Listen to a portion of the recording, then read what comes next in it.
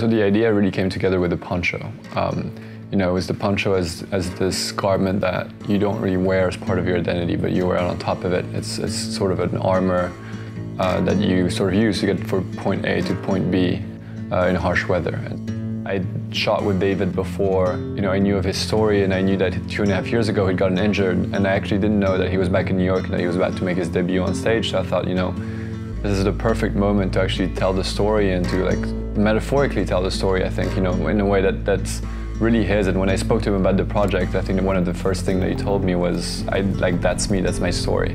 When he's on set, he takes on the shoot, he takes on the creativity, he embodies what he's feeling and, and he really brings it out on stage and brings it out to the project. And I think that's what makes him so unique as a dancer.